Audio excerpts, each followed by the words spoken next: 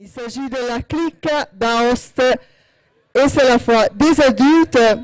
Les costumes de ce groupe sont issus de la tradition vestimentaire de la ville d'Aoste et remontent au XVIIIe siècle. Nous présente la quadrille et la Monferrina. Voilà la clique d'Aoste adulte.